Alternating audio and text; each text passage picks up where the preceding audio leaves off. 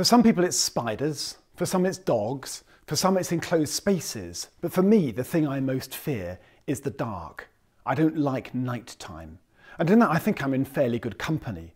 Most people find the night to be a time of fear and anxiety. My mum used to say there's no good done out of bed after midnight, and I think she had a point.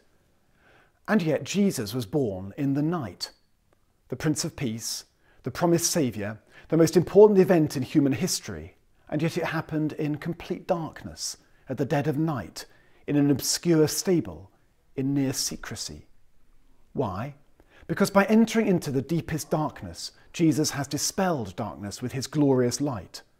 By being born in the night, he's shown that no darkness can overcome the glorious light of God's new day. And it didn't happen only once. Still today, Jesus is born in the night. This Christmas, he will be born wherever there is human darkness. He's being born right now, in the midst of families who are dependent for a happy Christmas on food banks and payday loans. He's being born now, where human dignity is undermined by abuse or neglect, or torture, or greed, or belligerence.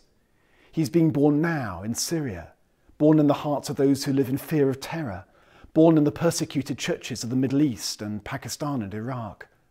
Wherever there is doubt, wherever there is pain, wherever there is despair, wherever the night seems to have triumphed, there a baby is being laid in the straw of a manger. For Jesus is born to dispel the darkness with the light of his love. Over a thousand years ago, some monks wrote this prayer as they awaited the feast of Christmas.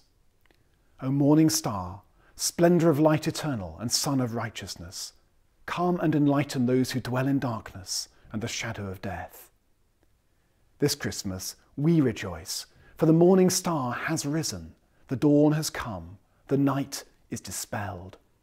The child born in the night has scattered the darkness and the gloom, and in him we can be children of light. In the baby Jesus, love has triumphed. That's why we can say, Happy Christmas.